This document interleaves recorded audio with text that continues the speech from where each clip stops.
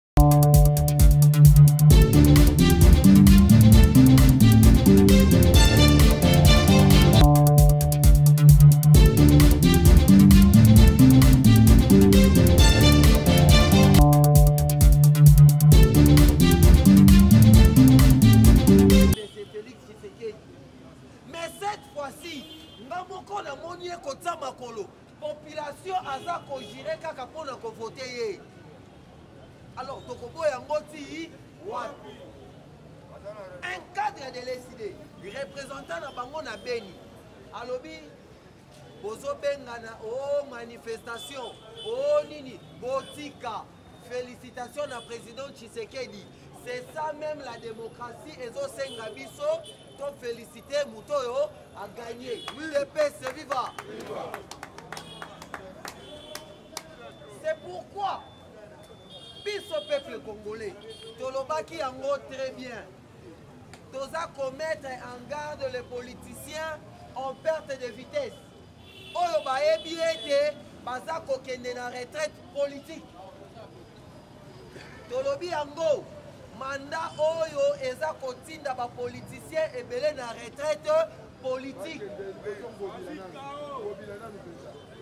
5 ans ya liboso pour votre information na élection passée toyebaki ete martin fayulu abimaki deuxième eza boye te cette fois-ci abimi kantième c'est-à-dire au fur et à mesure bilan ya faci eza komata bango bazosala nini au fur et à mesure peuple congolais aza kozala convaincu na baaction oyo président aza kopose ancrage politique na bango ezosala nini eza lokola nzembo ndeko moko ayembaka tous les jaloux de faci vont faire quoi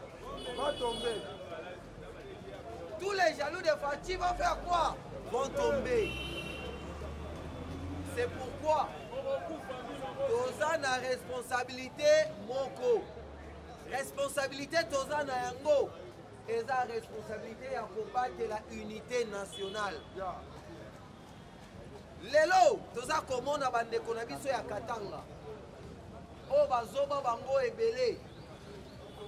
bazondima mpe kaka bakontinue kozoba bango baza kopiblie badrapo ya république du katanga eloko wana eza lokola ndoto ya baba esukelaka kaka ye moko aza na moto ako explike ye te kongo oyo bakoko na biso basopa makila kongo oyo lumumba akufela kongo oyo kimbangu akufela kongo oyo kimpavita akufela ekokabwana ata mokolo moko te udp se viva udp se viva facibe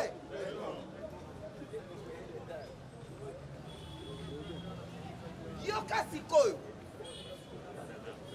bino boganye bino boza korevandike ete baelektio esalami mabe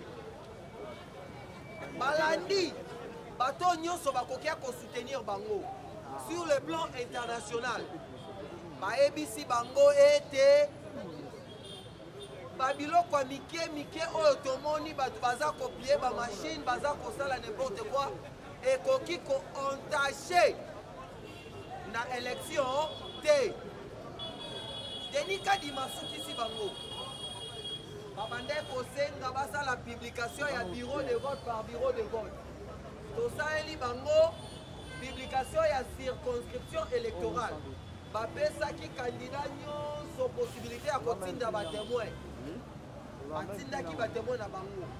ata baboya kokoma na centre bosolo mpo na kolanda me na bandako na bango babanda kobeta bakalkile devos kitoko oyo balingaki bazoba ye na afrique du sud aye koloba ete tokende na transition ya 15 mois udps viva bino boza ko revendiquer ke boganye na baélection turo bochange combat boboyi vérité des urnes bokomi sikoyo na combat ya transition ya 15 mois est ce que biso tokondima yango naza komituna Transition sur base de quoi? eza kotalisa ete bango bazalaki pre mpo na election te bazalaki pre mpo tokende na baconciliabile idps viva susi na bango ezalaki ete tokende na baconciliabile tokende na koyokana mpo bazwa baposte bayiba alors toboyaki eloko wana bango kongole bonne année na biso mais bobosana te ke bobosana te ke ya duro tokofete bonne année te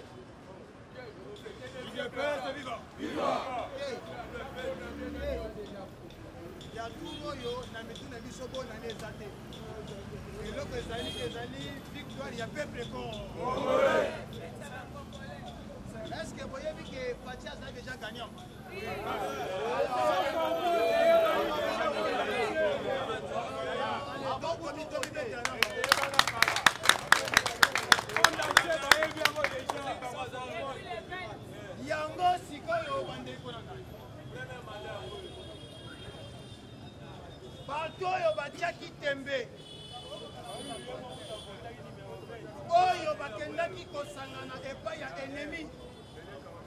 croyant que ennemi akobima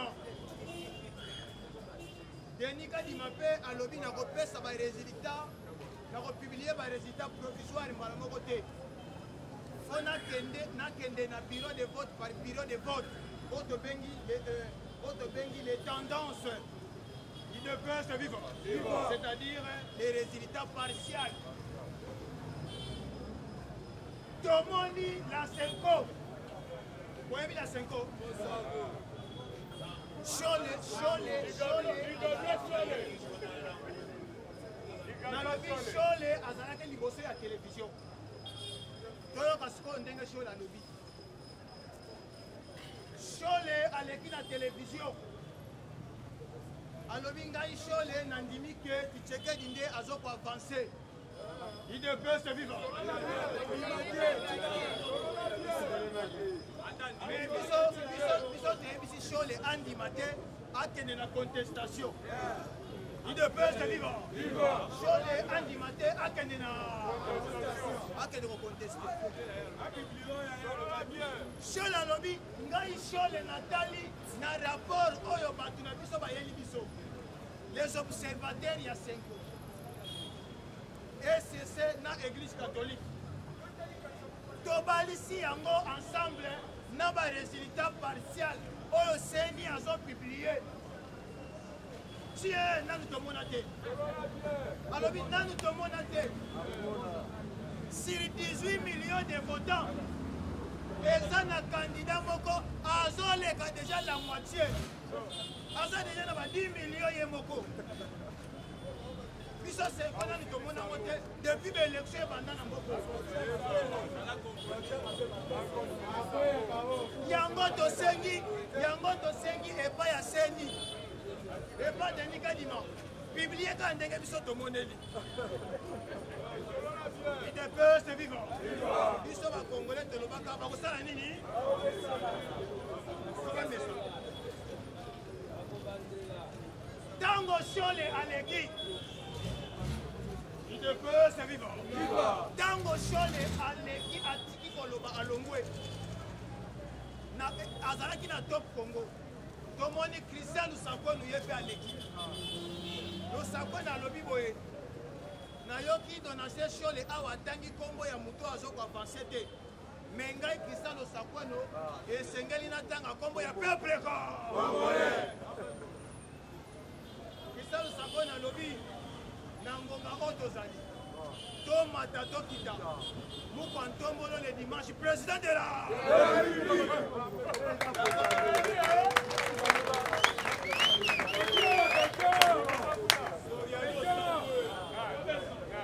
nde omoni alobi boye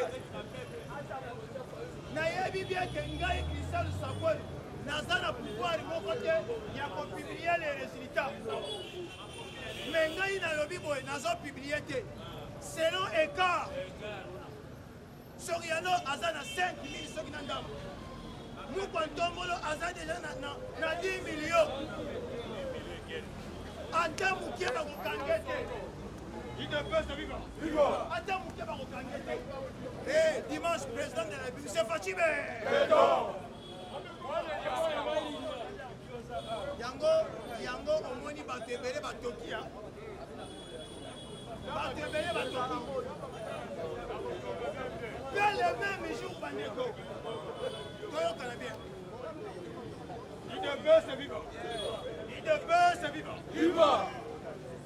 kaka le meme jour les observateurs ya union européenne pardon les observateurs ya union africaine bafélicité balobi tozofélicité peuple congolais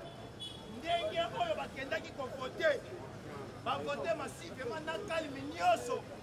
desordre ezalaki te mais biso union africaine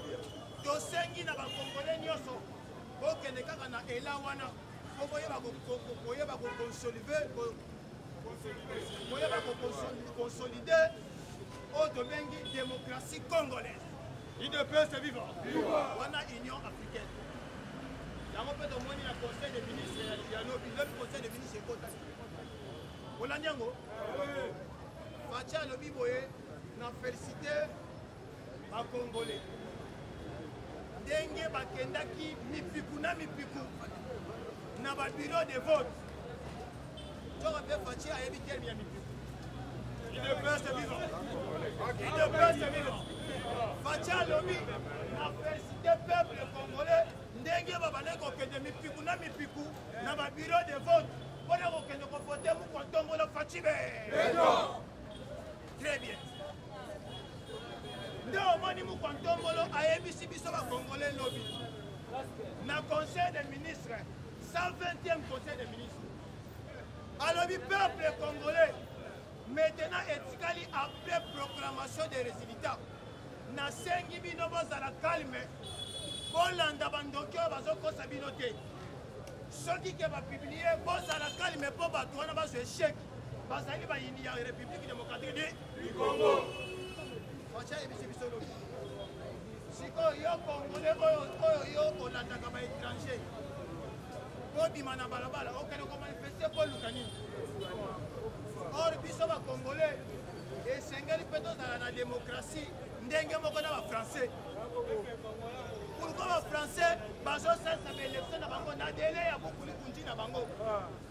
ekomi ngonga na biso oyo bokende na dialo eye bosolola yango omoni ya turo tolobi abwe sikoyo tokokani idps viva nalobi bien na biso na bafrançais na baamerikain tokokanaka te tosali nini biso mpo soki tokomi na 5 ans toke na mapona oyo akogania sa nini bandeko mama na likambo eza nini nake sikoyo na ese yango peut-être nakoshike wana nake sikoyo na ngambo bandeko fati alobaki yango ke soki nanga ameki kokosa lokolo na ye akozika idepese viva ebele batyaki tembe nayebisi bino nanga ayaki se koya na nsima na ye azalaki na bamilitaire ya paul kagame bayaki bakoti na bakoti na, na bunagana bamosusu bakotelaki na borne 20 nayebisaka bino awa mpe nabengaka bango eza fime ezalaki engrais chimique nde eyaki nalobaki yango awa Idps viva! Viva! Mpe le même jour nayebisaka bino tomonaka le porte-parole ya gouverneur militaire ya Nord Kivu azalaka clair atangaka communiqué alobaka na, na communauté internationale états-unis ke biso bakongole tokorespecte lisusu sese le fete nalobaka yango awa me nayebisi bino bandeko na ngai bakongole lobi tozalaki vendredi mais le jeudi mosala oyo esalamaki basoda ya kagame nyonso basilaka te basali nini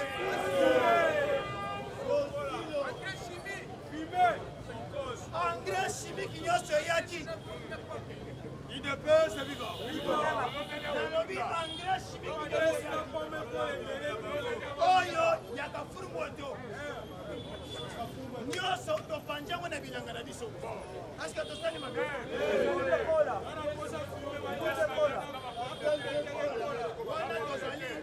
toza na masisi mpo bango bayebi ke esengeli baavanse mpo barekipere rubaya rubaya yango nde etoni na bomengo nyonso nde omonaki na nanga bakotaki na bato ya nanga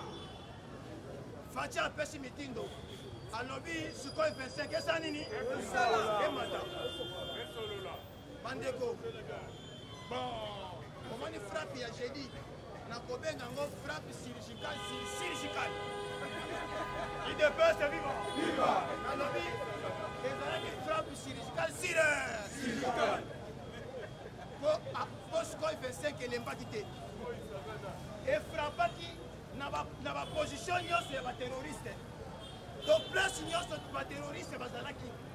avio emataki esalaki se mosala po nakoloba yango mpe e, ekataki bilanga udps viva omoni biso biso bato tovanda mpe na bamboka toyebi ndenge bakataka bilanga omoni bilanga banzete nyonso bakataka ekweyaka nde mosala esalamaki na mokolo ya jeudi yango tomoni nanga mbala moko alobi depese viva yaya alukaki makambo nanga alobi atangi communiqué après d'avoir atali ke bato bayaki na bango bango nyonso basili mpe jean-pierre bemba mpe alobi yango na conseil des ministres na conseil des ministres jean-pierre bemba alobi cessez le feu bapesaki biso epai les états unis alors les rwandais baviole yango komi baviole yango à partir ya jeudi les voyants commando congolais si deja babandi mosala de reconnaître d'abord kasavuku comme erona national eza déjà acquis ya mibale de reconnaître kimbangu comme prophète et de dédier un jour pour les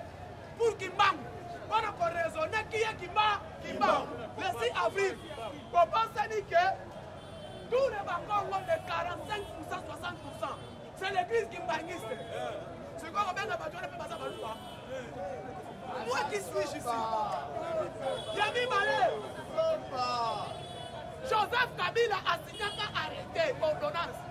ya kotonga route pont route rail entre Brazzaville et Kinshasa. Baboma port ya banana, aboma ba port nyonso tu. Felix aye azwi aboyi ordonnance wa udps viva atie port olokofa banana. Yo oza eli te. D'abord mama Paulette Kimuntu oza depute na liste ya ensemble. ofandaka kati bafrere na yo bazali toyokana ndumba tokokata yo ofandaka place bafrere na yo bazali la majorité 60 komina masina banda kingasani kimbaseke à 60 eza acquis par les bandundu et le congo central mais mituna pourquoi bavote yo te parce que tu es du bandundu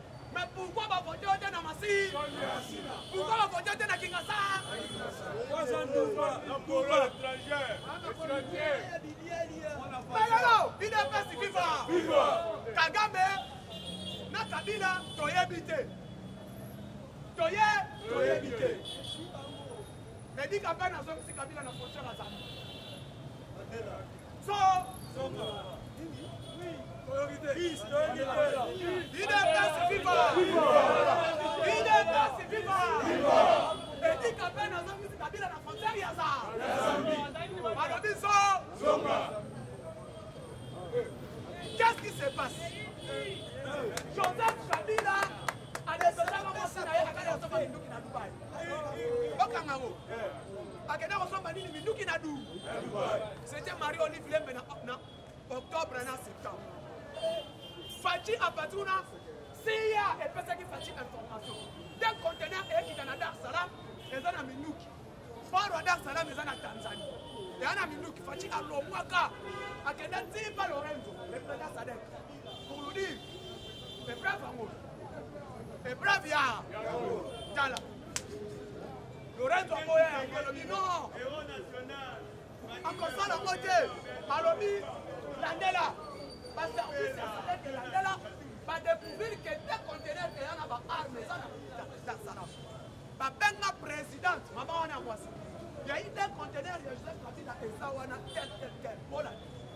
badekuvra wi eza mini na baarme sophistique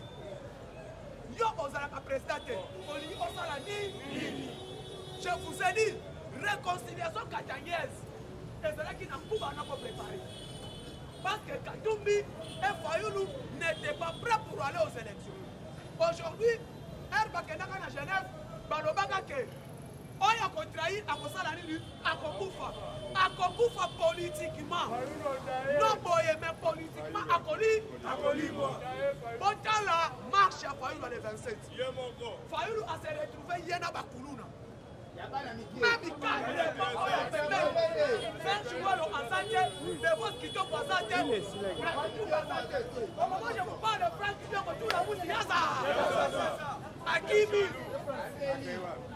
abeli aza na france balobi ake soin akobanga lisusu te bino epesi biba retour interdit bape bakoyeba nani bachala andeli or kabila prépare quelque chose avec retour bapapa omoni lelo on se dise la vérité nous avons l'armée oui l'armée congolaise puissant eza puissant lelo oyo meme france yoko puissant so tokobanga esu te tokonyata ye mbu nde omoni bit na yango mokonzi ya mboka akei alandeli blok nde omoni totie mire de berlin na katanga on appelle ça mire de berlin sikoyo mire wana totie mire te ma mire ya ba a ah! na miniti oyo kashamata kashobwe blokaya awawa basanganaki entre jeudi na vendredi bato wana bakaboli bapolo na siège ya ensemble oyo eza na kitambo bakomi idps tshisekedi idps tshisekedi mpo na kosala mobulu lobi le 31 me tolobi boye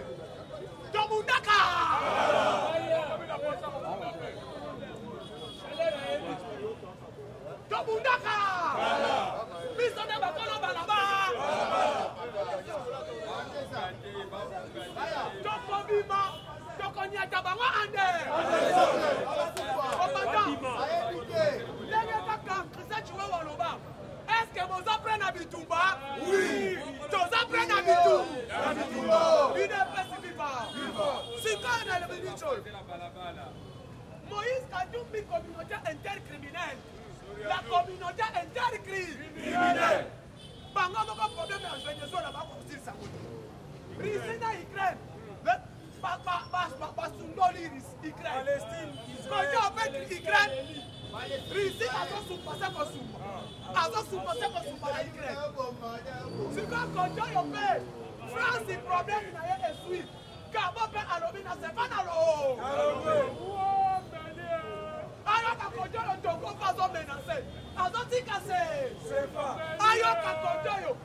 Centrafrique mpe alobi natiki se na miniti oyo bango bayaki na lobi nalandi ibrahim kabila ne jamais trahir le congo honorable ibrahim ka tobetele na maboko ne jamais trahir le congo honorable ibrahim kabila na honorable etienne kabila ibrahim abimi Kekaki alobi nazoluka bato oyo bayaki na siso bakataka tanga. Eh, Ibrahim alobi yo oza no meti na yo otika mandefu asalite bobimati na ye yo mwana ya papa nabimi na ba yaya na biso aza na pouvoir wana ibrahim kabila alobi yaya na biso aza na pouvoir alobi e yo yo oluti no rwanda oyebaki meme papier hygiénique te baede yo bapesi yo papier hygiénique baede yo topesi yo na mwasi toede yo topesi yo na mwana obotola na mwana bato opesi ekombo ya si ya sifa sifa nga mpe kuna papa na ye abotola mwa mwana oh, okotuna eka kabila nakoso nimero na ye kuna mpe sifa babotola ye atere aza na poto sikoyo kote oyo oh non tozo créer république ya katanga ere barepere ere babimisaki yo bandimi yo na cour constitutionnelle président de la république ondimaki lelo oyo olobi na kokende cour te banda na ngai liboso namona Président n'a pas publié te. Batu bazo boya déjà. Bazalaki trop sur na église catholique na SSC. Or papa Jean-Pierre Be. Bema. Eh, Igwe. Alobaki ya. Tango opelisa moto, yebaka retour ya flamme. Alobi, bokopelisa moto, mais il faut attendre na retour ya nini ya flamme. alobi ssc société civile Papa abenga bango ayebisi bango papa coalition wana eza somo kasai eh, province orientale sud kivu nord kivu ne blaguez pas kamere c'est un diplomate une epesi viva kamere grand diplomate tshisekedi politicien diplomate militaire yoka alobi tshisekedi politicien militaire diplomate jean pierre bemba militaire diplomate rebele ayebisi bango nanu nasala 10 ans na cpi tour oyo avant cpi ya kozwa nga nake komiti alobi se monsieur oyo avuka mbango na ye na kimoyi alobi lokola ozopelisa moto bongama na retour ba flamme bino moko bomoni na ndolo bato baleka ndolo bobo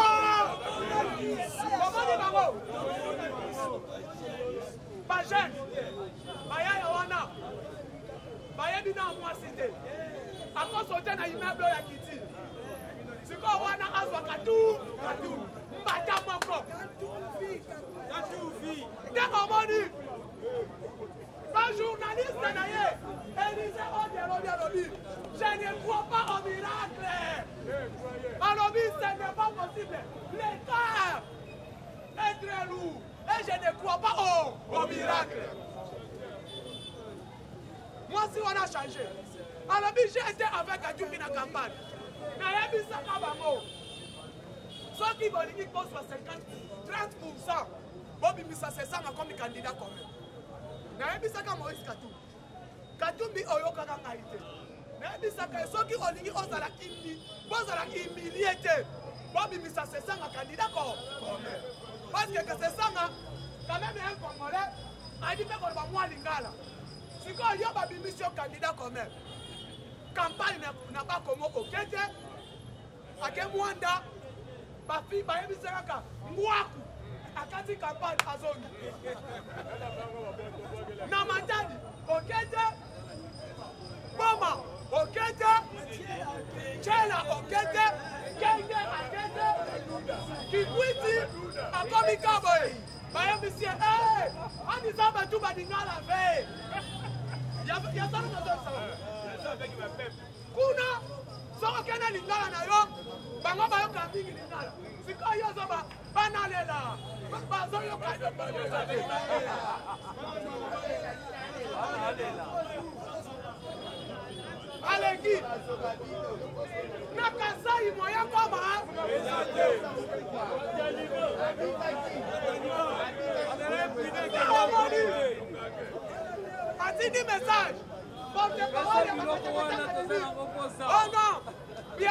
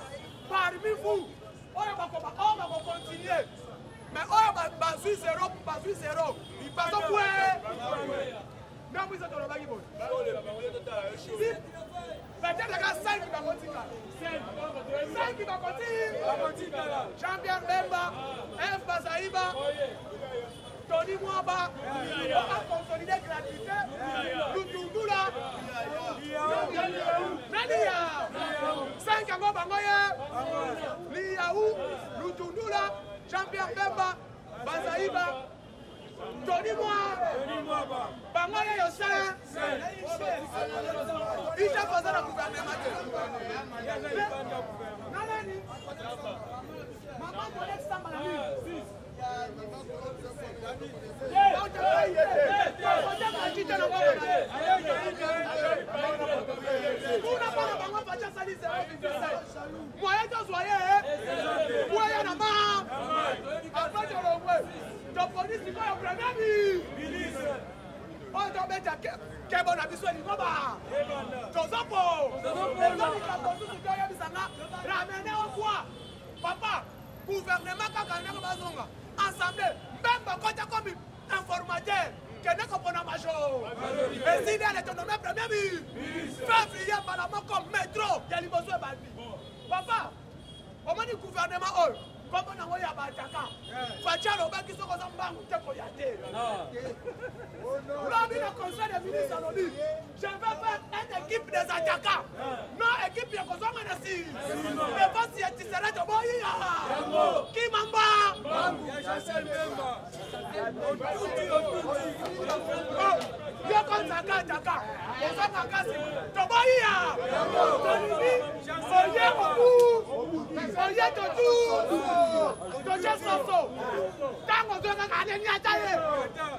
Buka yo loko Kale yo leka Nda omoni Facha lobi L'équipe des attaquants Oyo bazo konta Tonda se bala moko metro ya Lualaba Metro o Katanga Ya Kinshasa Congo Central Abuo Totali sikoyo Ango bila liba Libanda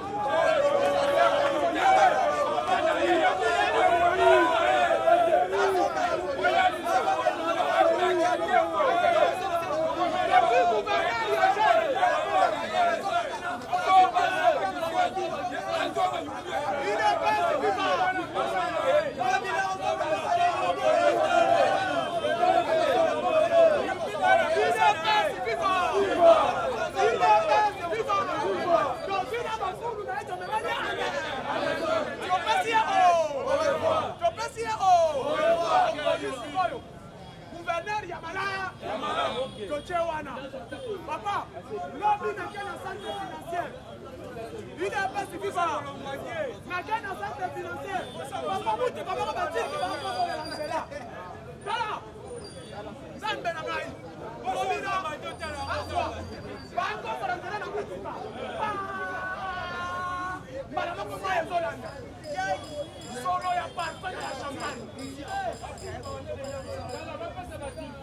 ntango omoni naloba to naloba te ndenge omoni fati azwi mboka abitinki ya koto na miniti oyo bazwi su banzela mosusu ndenge baza bongo